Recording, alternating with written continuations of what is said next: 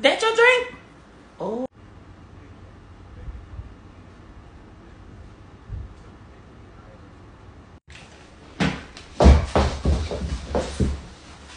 The hell?